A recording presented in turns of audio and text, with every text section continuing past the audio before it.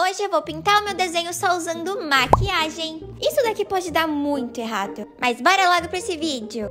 Olá meninas, bem-vindas ao vlog da Gabi... É blog, não é blog, meu Deus. Hoje vamos fazer um tutorial de maquiagem. Passo 1, um, passa a base na sua cara. Passa um monte de base na sua cara pra esconder a feiura. Esse cabelo tá me atrapalhando.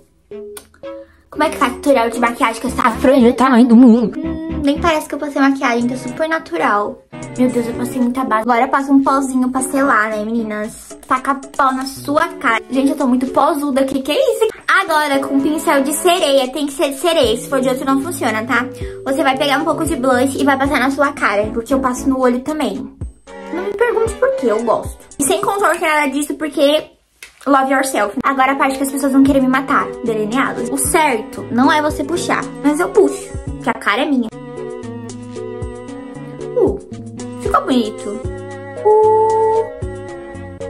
Ah, já errei. Só piorou, né? Gente, eu não sei fazer maquiagem. Isso aqui é o máximo que eu faço. Tá vendo como eu sou muito boa em fazer maquiagem? Depois do blog da Gabi, né? Agora vamos fazer uma coisa que eu realmente sou boa. Porque maquiagem já viu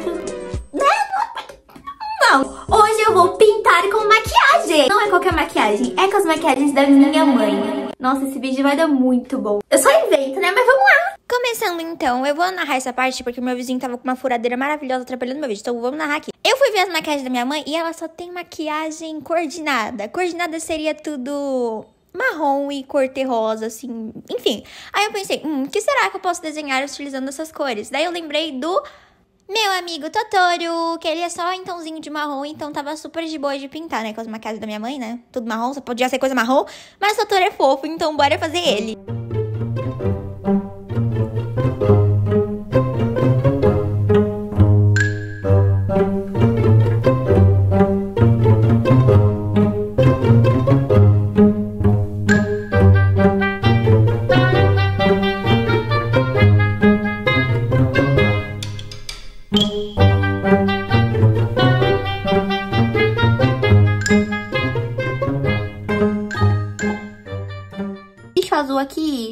Não gostei, ficou meio estranho. Mas tudo bem, gente. Depois eu arrumo ele. E agora eu vou usar o limpa-tipo.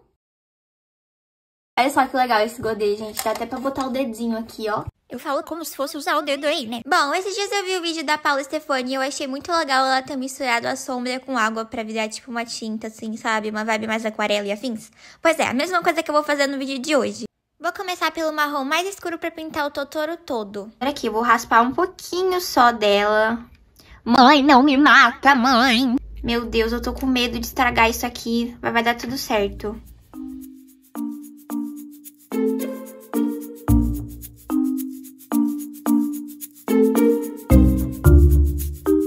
Agora é só misturar. Mistura, mistura. Gente, não mistura! Socorro, não mistura. Deu ruim aqui. Não, isso vai ter que misturar. Vai dar tudo certo. Eu vou fazer só essa misturinha aqui depois eu faço as outras misturas, porque o Totoro é praticamente todo marrom, né? Meu Deus, gente, olha isso! Olha isso, gente! que legal! Eu quero ver na hora que secar como que vai ficar isso. Vou dar um zoom pra vocês verem melhor. Olha só, gente, que legal. Parece aquarela mesmo, olha. Nossa, eu acho que essa folha aqui vai enrugar, porque essa aqui é gramatura 200 e alguma coisa. E geralmente quando eu faço aquarela, eu faço na gramatura 300, né? Mas tudo bem, vai ficar, vai ficar legal mesmo assim. Vai ficar com marca de pincelada, vai ficar uma coisa linda isso daqui.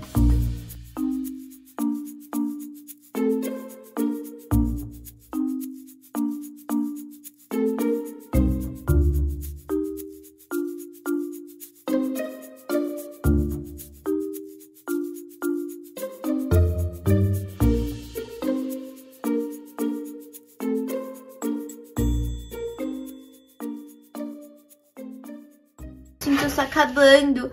Minha tinta de maquiagem está acabando. Ó, mas deu, mas deu pra pintar tudo, não vou precisar usar mais. Não, vou sim, vou precisar, porque aqui na barriga dele tem a negócio também, tem a orelha dele pra pintar. Mas olha, gente, rendeu bastante. Vocês viram que eu peguei só um pouquinho de, de da sombra da minha mãe? Mas deu, ó, deu pra pintar bastante. Vou ver que cor que fica esse laranja aqui, ó. Esse laranjinha. Eu vou tirar um pouquinho do laranja.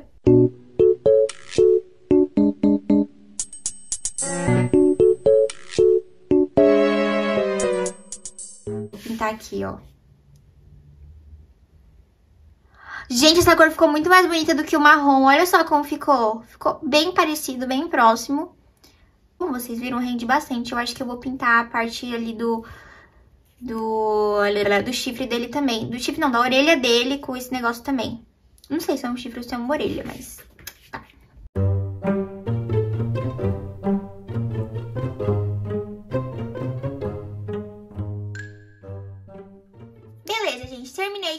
essa parte do tutor. Eu dei uma manchadinha aqui, meu Deus.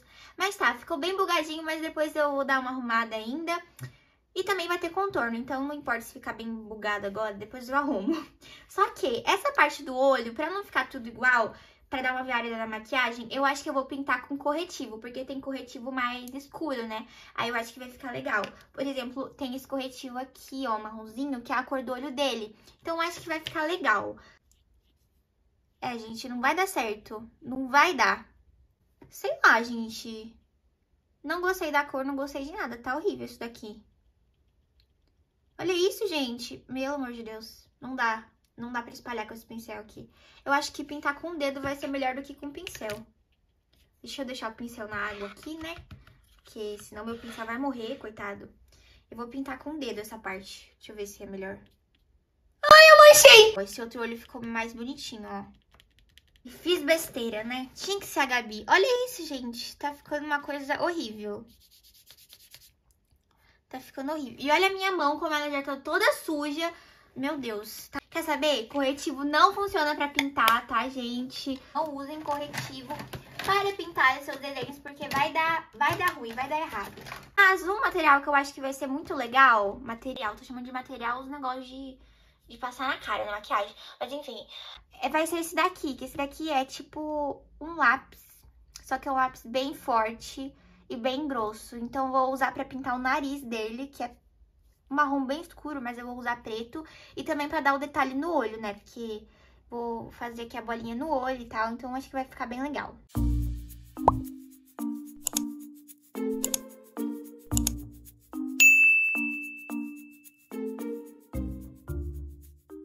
agora com delineador, né, gente, que a gente vai maquiar o, ele aqui, né, eu vou fazer aqui as, as pontinhas na bochecha dele com delineador. Olha a ponta do meu delineador como tá feia. Enfim, né. E eu vou puxar aqui os bigodinhos dele. Vou tentar pegar esse pigmento que eu fiz aqui, esse essa sombra mais escura, que ficou marrom mais bonito. E vou tentar passar por cima aqui pra tentar dar um detalhe. Eu não sei como que vai ficar na hora que secar. Mas eu espero que fique mais legal. Tá vendo a barriguinha dele, gente? Ela é tipo amarelinha, assim, um marrom bem claro, tá vendo? Então é esse tom que eu preciso. Mas eu não sei com o que, que eu vou usar, gente. Não sei, ó. Eu posso usar esse aqui do cantinho, que eu acho que é bem parecido, só que no momento que eu colocar ele aqui com a água, ele vai ficar bem mais claro, que é o que acontece, né? Tipo, ó, olha a cor, que é o marrom que eu peguei, que é esse daqui, que é o marronzinho. E olha a cor que ele ficou no papel, vai ficar super mais claro. Então eu acho que tem que ser, tipo, essa cor aqui, eu acho que quando eu passar no papel, ela vai ficar bem... Vai, é, vai ficar na cor que eu preciso, né? Aqui também, nessa outra paleta, também tem, ó. Tem essa cor aqui, mas como eu disse, vai ficar muito mais clara na hora que eu passar aqui pro papel. Então, eu posso fazer um teste também com amarelo, que talvez ele fique com uma cor parecida. Então, eu vou fazer um teste. Eu vou usar esse. Eu acho que eu vou usar esse daqui porque ele é mais claro, dá mais confiança, né? Então, eu vou botar aqui no godezinho. Só colocar aqui no godê. Vou raspar com a unha mesmo.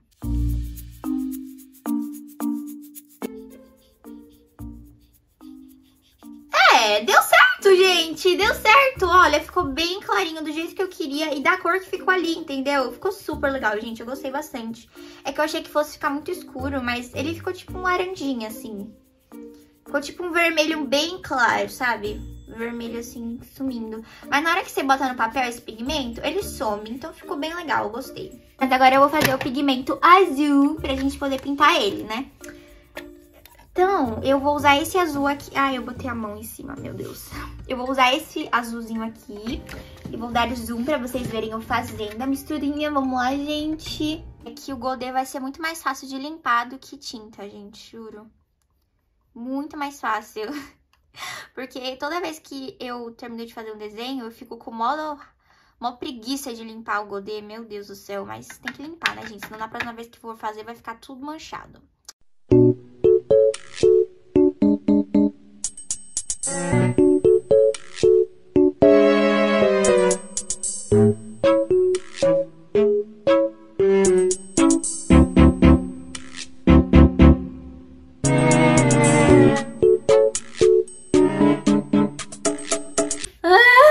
Coisa feia, gente. Usar este azulzinho aqui clarinho pra fazer a barriguinha dele. Esse azul, gente, ele é tão claro que eu tô com a impressão que ele não vai nem aparecer, entendeu? Olha só como esse azul é clarinho, ó. Tá vendo? E que cor é essa que ficou? Ficou cinza. Ficou horroroso. Decepciona. Ah! Meu Deus, olha o que eu fiz, gente!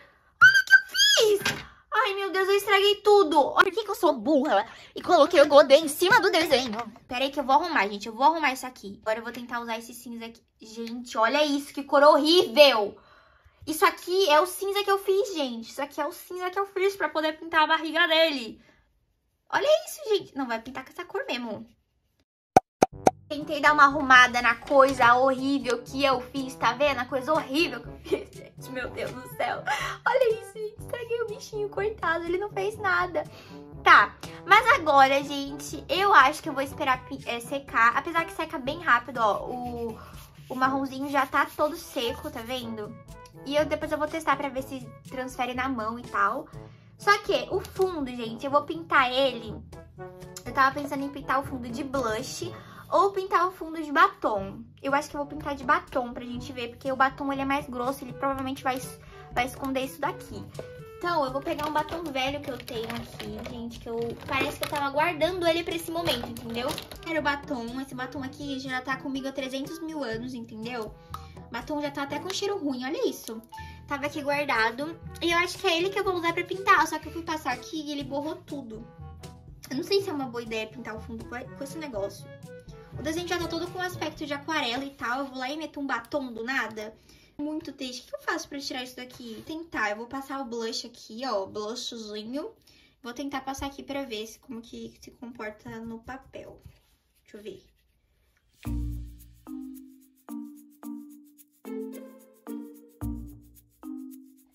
Gente, eu tô esperando isso daqui secar, tá? Tem uma mancha giganorme ali. Tem uma mancha aqui também, olha só o tamanho da mancha que tá aqui. Tem um monte de mancha. Mas tô esperando isso aqui secar, mas ficou uma bagunça, ó. Minha mesa tá toda manchada. A mão também tá toda manchada. Então eu tentava arrumar o desenho e manchava mais. Enfim, mas como vocês viram, com a maquiagem marrom da minha mãe, tá quase dando tudo certo. Agora a gente vai contornar depois que esse negócio pintar pra eu não vou... Pintar não. Depois que esse negócio secar pra não borrar tudo do jeito que eu fiz antes. Porque eu sou uma doida e borrei tudo, mas enfim. Bora lá.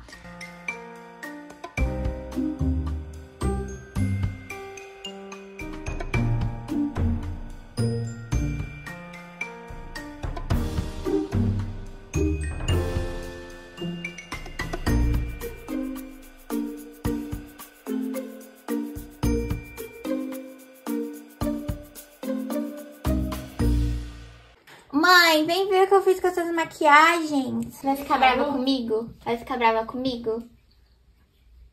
Você estragou? Não, não estraguei. Eu fui toda cuidadosa, você vai ver no vídeo. Será? Tá aqui, ó. Você estragou? Ai, que bonitinho. é meu, vou pôr do quadro.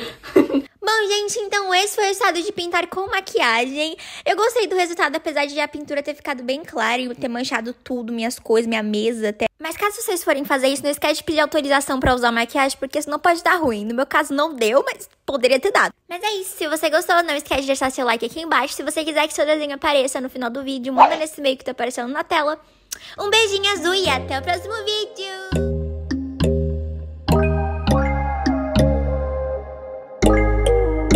When there's no hope, no chance